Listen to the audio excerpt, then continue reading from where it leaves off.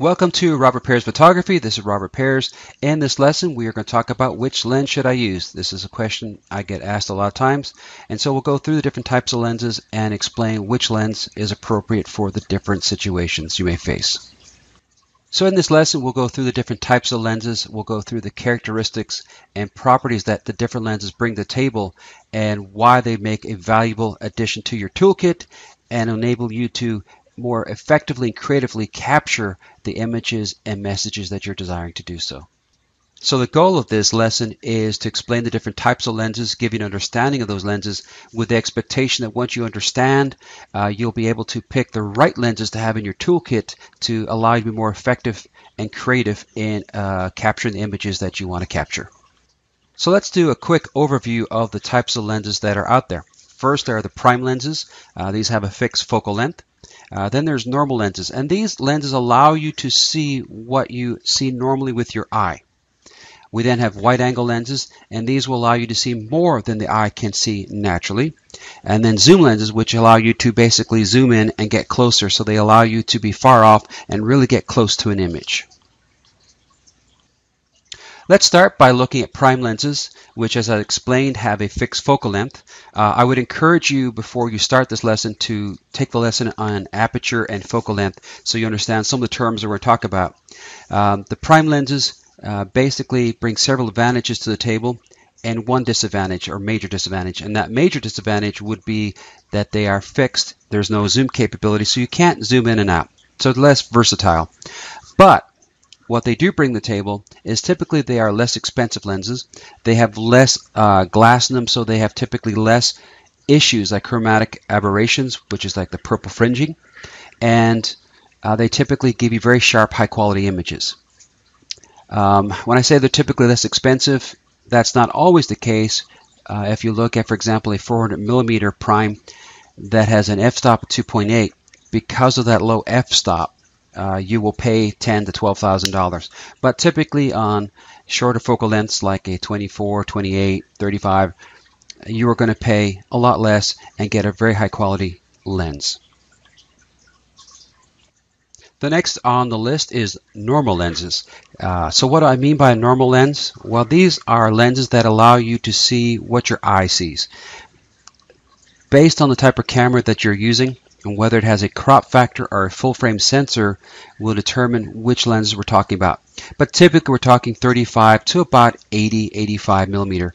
So lenses such as a 35 or a 50 or an 80 would be classified as normal. So with a full frame, uh, a full frame does not have a crop factor, so the focal length is what you get. So a 35 is a 35, a 50 is a 50.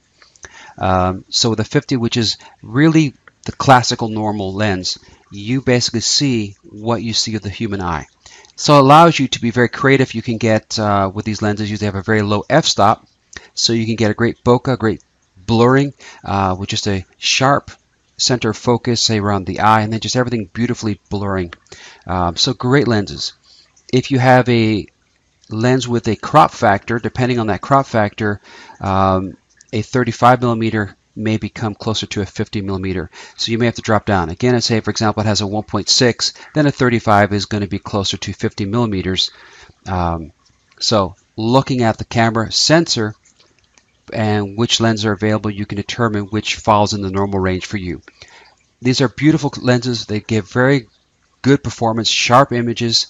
Um, again, they are typically, so these are prime lenses, so they don't have a, a zoom factor, but they do give you what the eye sees, less chromatic issues, um, usually typically less expensive than a lot of the other lenses, but give you some great, great images and can allow you to be very, very creative, particularly because of that low f-stop. Uh, you can use uh, or you can create beautiful bokehs, have a very shallow depth of focus, uh, much like you would get a zoom lens, but get beautiful finishes. No real distortion, as we'll see with other lenses, so they won't get a distortion of perspective with these lenses. Just great lenses overall.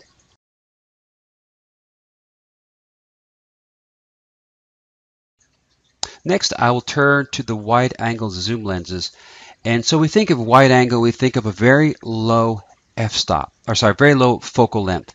Um, ultra wide angle, you're starting to talk in the teens and low teens, and wide angle upper teens, 20s, uh, maybe 30s is a good number. Now again, a lot depends on the type of sensor that you have. So a full frame sensor really, really allows the wide angles to shine because a 16 millimeter is 16 millimeter with a full frame. However, with a crop sensor, that 16 millimeter may become 20 um, or various other focal lengths because of that crop factor. However, wide, uh, wide angle lenses really allow you to see more than the human eye. Uh, if you look at the ultra wide, you look through the camera, all of a sudden you can see um, so much more. And these are great for landscapes. They're great for um, action shots. You can get very close to a person and really, for example, we do this in First Dance. We go right in close and just gives you beautiful action shots. One thing to be aware of, these lenses do distort perspective. So something that is far off will appear smaller. Something that is closer will appear bigger. Not good lenses for portraits because the nose, the chin is going to be enhanced and things further away are going to be made smaller. Uh, but overall, this is a great lens to have in your toolkit. There's so much you can do. Uh, be aware of some other things. They will give a, a distortion, a barrel effect on the edge where things start to curve upwards. Um, you can't make a lot of corrections for that these days in software. And if, for example, uh, you use some of these lenses outside, you want to have an f-stop of an 8 or higher to stop vignetting because particularly with a full frame, you'll start to see that darkening around the edges. You can make a correction for this in software if you take a picture in RAW. Uh, but again, I, I, strongly recommend for landscapes, for a lot of creativity, you can go in close and do some very cute angles and get some extraordinary pictures uh, with these lenses. Next, we're going to talk about telephoto zoom. A lot of time people think of zoom as being lenses that really get you uh, a very large focal length. That's actually a telephoto lens. A zoom is a lens that allows you to zoom between different focal lengths. Uh, so you can have a wide angle zoom lens. Telephoto has a larger focal length and these are great lenses um, that allow you to be far off yet get very close to the subject. Great for wildlife, great for sports photography.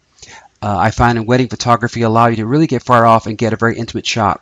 Uh, you can allow the couple to get distracted and unaware of you and you can get some great shots really close in. They are um, great lenses to have in your toolkit. However, certain things to be aware of. Number one, uh, again, I encourage you to go back and listen to the lesson on aperture and focal length to understand this better. They do allow less light through. And when we talk about that f-stop, because of the large length of the focal length, uh, the actual opening is much bigger. And if you remember, the bigger the opening, the shallower the depth of focus. So these have a very large opening, even at a low f-stop. So typically you will find that you'll want to have the f-stop uh, pretty low. So when we're, we're taking pictures, we're um, not going to have that f-stop very high. It's probably 4.5, 5.6, and such like. Uh, otherwise, we just simply don't allow enough light through. These lenses typically um, are a little more expensive, particularly if you want a low f-stop. So if you're going to use these in low light, you want that low f-stop. If you're going to take sports photographs at night, you're going to want a low f-stop. And that's where you're going to start to pay the bigger bucks. Uh, there are some great 200 millimeter uh, that come in at 2.8, and 2.8 is great for low light. So doing sports at nighttime or doing intimate shots in a wedding and a reception hall where it's dark. You start to look at a 400 millimeter uh, and such like, you're going to start paying a lot more money for that. Uh, we have picked two lenses here that I really like, the 70 to 300 and the 70 to 200. These are great ranges and allow you to get some good close-ups. Um, 400 millimeter is another great lens. You start to get above 400, you start to pay us at a lot more money. Uh, if you have a crop factor lens, uh, this is where you start to see the benefit because you take this focal length and you multiply by the crop factor. So a 300 can become a 400 or etc. Where the full frame, it is what it is. Again, these lenses um, will create a nice bokeh. So as you zoom in, uh, you get a nice bokeh around the subject. And again, it's a beautiful finish. Um, strongly recommend these lenses for creativity and allow you to, uh, as I said, stand far off and get a very intimate shot. So let's look at uh, which lenses should we use in different circumstances. And here I picked on weddings, but I can also add some other situations. So if you're doing a wedding inside where you have less light available, um, if it's inside a church hall and there's still some daylight coming in, so it's not really low light, but it is low light. There are several lenses we recommend. Uh, you can use the 40 to 70 millimeter, which is going to give you a normal range. It is a zoom, but it does give you normal range. Good lens. Uh, 70 to 200 millimeter, because of the low f-stop on those lenses. Again, if you get one with a 2.8, uh, you can get in pretty close and get some nice, clean, sharp images. A ultra wide angle uh, this is going to give you a, a beautiful uh, view of the whole place and also be very creative if you can get in close and, and just get uh, so much into that picture and get a beautiful picture as I said. They typically have lower f-stops, can be used in low light situations. We typically use the 16 to 35 which has an f-stop of 2.8. Uh, the 17 to 40 has an f-stop of 4, not as good in lower light but good in these situations. Um, if you said you have some nice light, extra light coming in, so it's not super low light, you can also use lenses that have an f-stop of 4.5 to 5.6, such as the 70 to 300 or the 24 to 105. You may have to up the ISO a little bit, but again, these lenses will typically work and allow you to get a little closer with that 300 millimeter and get some nice, uh, very intimate shots. In sports, um, inside. Again I recommend anything with a low f-stop the 7200 millimeter because you need to keep a high shutter speed. So uh, if the f-stop starts to get above four you're going to start to suffer. So something with an f-stop below um, below four typically four or below uh, will work really good. With sports you want to get closer so you do want some zoom on there. And again you're going to start to pay a lot more money in those situations Inside uh, our night without flash, this is where you're really starting to see the low light. Uh, we typically use the 40 to 70 millimeter, the 70 to 200, 16 to 35, ones that have a low f-stop that allow us, uh, this is a typically in a wedding, to get some very creative shots but operate great in low light. Um, you can also use a lot of the primes because again they have a lot of uh, low f-stops which is great, 1.4, 1.8, which we want in low light the bigger lenses or the bigger zooms, um, unless you have one with 2.8 in low light, it really starts to create issues and you're going to get blurring. Again, in sports, uh, if you're doing a night sports, you'll be restricted that you can't use flash. Here, you want something with a 2.8. Um, you may get away with a 4, so the 400 millimeter with a 4 f-stop will work, um, but anything greater than a 4 simply will not work. So inside with some daylight, um, with or without flash. If again, this is where I've talked earlier. Um, if there is enough light, you can actually expand and use lenses that have an f-stop of 4.5 to about 5.6. That's about as high as you really want to go, but it's a low light, just not super low light. Outside, obviously, this is a place where you have enough light, uh, particularly if it's bright and sunny, to use all lenses um, and really get creative. A term that you will hear often is a fast lens. So what is a fast lens? You know, we often often think about that as well. It's going to take a picture, it's going to zoom, focus real fast. That's not what it means. It means a lens with a very low aperture or f-stop. So it has an f-stop of 2.8 or lower. And the lower, the faster the lens. Um, these lenses allow a lot of light in.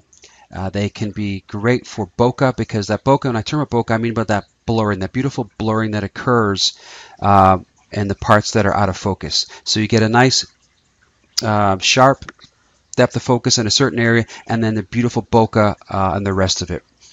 These lenses typically will focus faster because they allow so much lighting which allows the camera to focus very quickly. So they are great lenses for low light. Uh, they are great lenses for uh, creating bokeh and being very, very creative. So I wanted to go through our top lenses, particularly the ones we use at a wedding uh, or especially event. And the number one lens is the 40 to 70 millimeter. Uh, this is because it really gives us the normal range. And so you get images that are typically what you see with the eye and people like that. It has a low f-stop so I can use it in low light and it performs really well in bright sunlight. So across the board, it's just a great lens. So a lens that gives you the normal range is highly recommended with a low f-stop. The next is our 7200 millimeter. This allows us to get in nice and close, get those intimate shots. Again, it has a nice low f-stop at 2.8, so we can use it across the board, outside, inside. Um, the one drawback is outside 200 millimeters really is not as, as, as high as I like to go, and, and again, doesn't get you as close as you want. Um, and so we have other lenses for that. The next will be our 16 to 35 millimeter uh, wide angle, ultra wide angle. This is a great, it really captures great landscapes. But if you go in close, you can get um, the person just gets so much in so close. Great action shots, great creativity with this thing. And because of the low f-stop, it can be used across the board. It has an f-stop of 2.8. I encourage you to get a wide angle. Again, if you can get one with a low f-stop, it really allow you to use it across the board. Uh, we then have the 17 to 40 millimeter uh, wide angle. This is an f-stop of 4 and we find that in really low light it will start to struggle um, it's not as sharp or as clean as the 16 point, the 16 to 35, but still a very, very good lens. Uh, we then have a 100 millimeter lens, and I use this a lot because it's great for macro work. It can allow you to get as close as six inches to the subject and just gives you great macro photography, uh, that close-up photography, beautiful, very sharp, clean images. Has a low f-stop so it can be used uh, in low light and challenging situations. Uh, we then have our 24 to 105. This is really a standard lens. The f-stop is 4.5 to 5.6. So as you change the focal length, that uh, f-stop varies and increases as you increase the focal length. Makes it a little more uh, unusable in low light and particularly in very, very low light. But great outside, great in good sunlight. Uh, finally, I recommend a prime lens or a normal lens. Uh, good normal lens um, really allows you to get some very sharp, clean images uh, and allows you to be creative. So you can, for example, take a picture of the bride and really blur out the groom in the background and do some creative shots like that. Um, if you're outside, you will need to add some kind of neutral density or ND filter just to darken things down, down because obviously being so open, it's going to allow a lot of light in. But these are just some of the recommendations we make uh, in terms of lenses. And again, lenses sim similar to this will work great. Okay, so here I'm looking strictly at weddings and the main three lenses that uh, we must have. These are the critical lenses um, that will work for ceremonies, reception, outside. So across the board for all the images that we're going to use. So a typical wedding, the ones that we recommend, typical ones that we use are the 40 to 70 millimeter uh, or you could have a normal lens. So if you had a 50 millimeter, a lot of uh, wedding kits have a 50 millimeter or something in the normal range. You really want something with a normal range that has a low f-stop. Next up is a 70 to 200 millimeter. This allows us to get in really close, and because of the 2.8, we can use it across the board in all these situations and just get those intimate moments. You can stand off, for example, in a reception hall and just be able to focus in on a couple or a group that's simply not even aware that you're taking the picture and just capture uh, awesome moments. The next is a wide angle. I like wide, angles a lot. They really allow me to be very creative. And the 16 to 35 millimeter with the low f-stop really allows us to just uh, get great shots in all situations.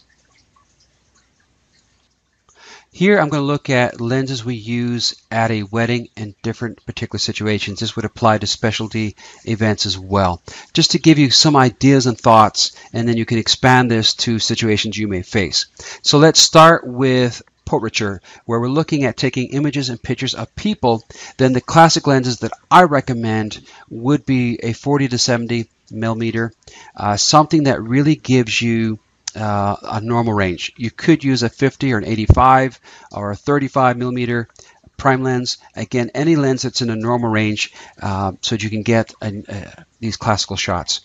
A 70 to 200 millimeter will allow you to get in close so you can be far off. And what's really nice about a zoom lens, a telephoto zoom lens in these situations is by giving that space between you and the subject, you allow them to become unaware of you and start just being them, and so you can capture great moments. If these all have low f-stops, you can use these in both inside and outside. Inside in low light, outside that low f-stop will allow you to be creative in uh, using uh, low aperture to get a nice bokeh. But again, remember you'll need a neutral density filter on there to reduce some of the light. So if we then move outside, uh, sorry, yeah, make sure we get this right. So then we're starting to move um, outside.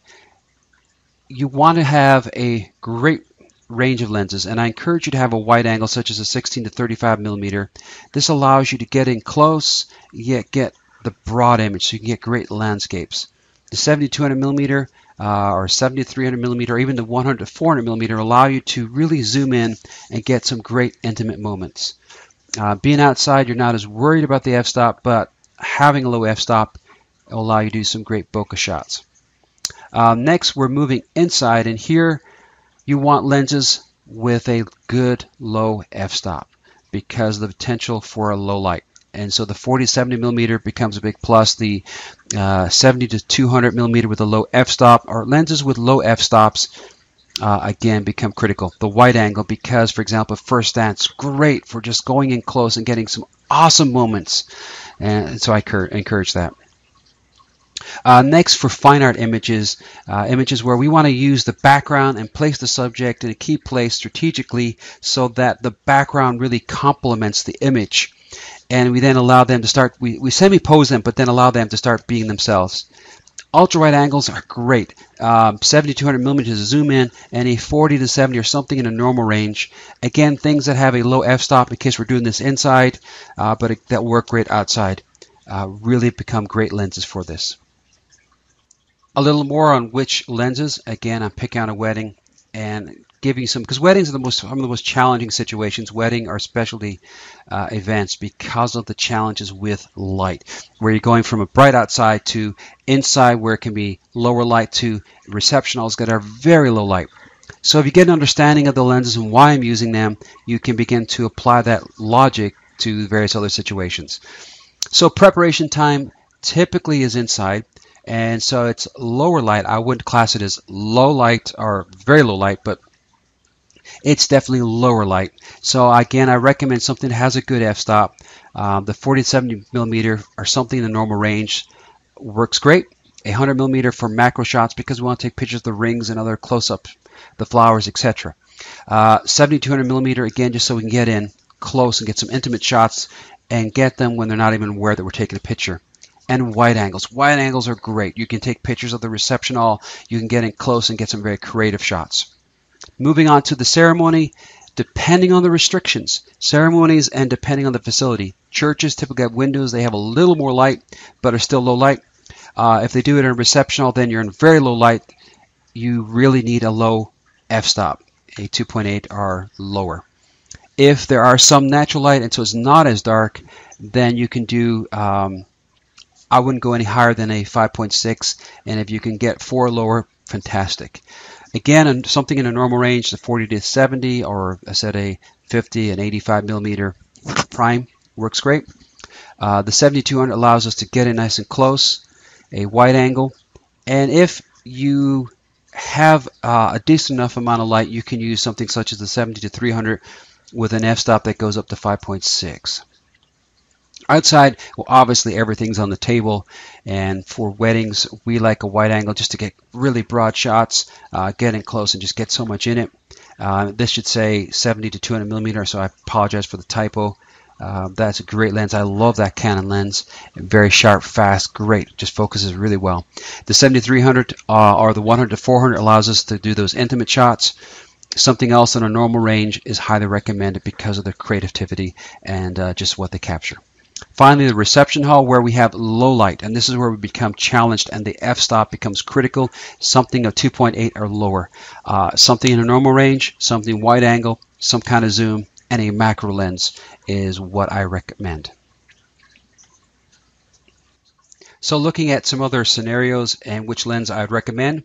Uh, so if it's in daylight and you're doing sports, uh, you want that zoom. You want to be able to get in as close as possible. So the bigger the zoom, the better.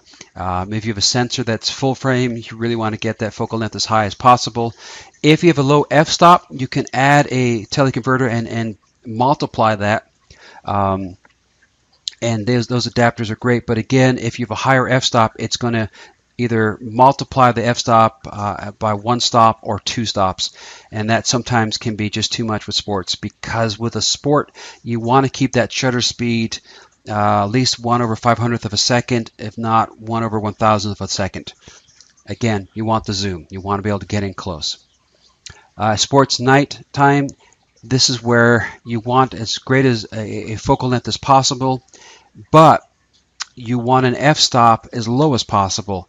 And I would encourage a 2.8. Uh, for example, if you're doing football at nighttime, they obviously have the, those floodlights on. Uh, you may get away with something of a 4, f-stop of 4, uh, but I would definitely not go any higher than a 4 just to try and capture that um, shutter speed to get a sharp enough image without blurring. Wildlife, typically again outside, and hopefully you have a good lighting situation. You want that focal length to be as high as possible so you can be as far away and getting close so you're not distracting them to capture them doing uh, what they do naturally, just just being themselves. So, or a good macro lens. Um, so if you want to take close-ups of flowers or getting close uh, and see a bee on a flower, etc., a good macro lens that allows you to get in close, such as the 100 millimeter, that allows you to get as close as six inches. Landscapes, ultra wide angles are great. Um, a tilt shift lens may come in here because a tilt shift allows you to correct for the barrel effect where that curving that occurs at the edges. Um, I also sometimes use telephoto zoom because I want to zoom in, for example, in the mountains or a certain area, and it gives me just a different perspective on it. Portraits, um, the normal lenses work great. So something in a normal range works great. Uh, I avoid uh, wide angles, particularly ultra wide, because of the distortion they will do, increasing things close up and making things that look further away smaller. I will also use some telephoto zoom lenses because it allows me to get an intimate shot to really step away and let them be themselves by creating that space. Product shots, uh, here I use macro lenses um, or something like a 40 to 70. It also has the ability to do some macro, not as close as, for example, the 100 millimeter, but still works great. Uh, or the 24 to 105, again, depending what I'm trying to accomplish. Uh, if you have a smartphone, I strongly encourage you to get a depth of field um, app, such as the one here, the depth of, field, master, which allows you to pick the type of um, camera that you're using, uh, the lens, the f-stop, and it, then basically um, what how far away before things start to become in focus. And here you see here um, the range that will be in focus. You'll also see here the total depth of field um, so you can see how much based on the settings you have will be in focus. This is great for videography. It's also great for photography. There's also the hyperfocal distance. And the hyperfocal distance really tells you what, if you get the settings right, from where, um, from that point on, everything will be in focus to infinity. So again, a great tool to have um, and strongly recommend it. A quick word on changing lenses. I encourage you when you change lenses, uh, lenses obviously turn them upside down. Uh, hopefully you're aware there's a little button to press and you turn it anti-clockwise. Um, then when you're putting new lens on, you want to line up the orange, the orange, the ready dots and turn it clockwise.